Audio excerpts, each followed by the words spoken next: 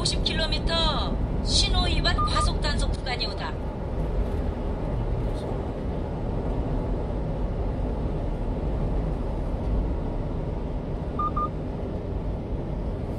노인 보호구역입니다.